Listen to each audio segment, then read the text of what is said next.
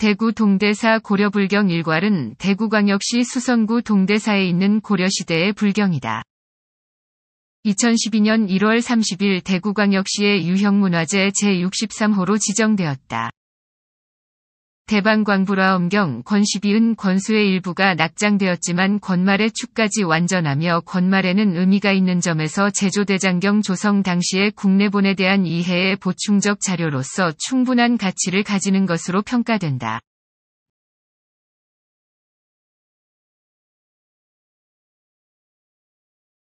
대방광부라 엄경 권 43은 권수의 일부가 낙장되었지만 전체적으로 권말까지의 보존 상태가 양호하며 사경체가 가미된 필체로 간행 시기가 11-12세기경으로 추정되는 책으로 불교사, 서지사, 서예사 등의 중요한 자료로 보존 및 활용의 가치가 있다고 평가된다.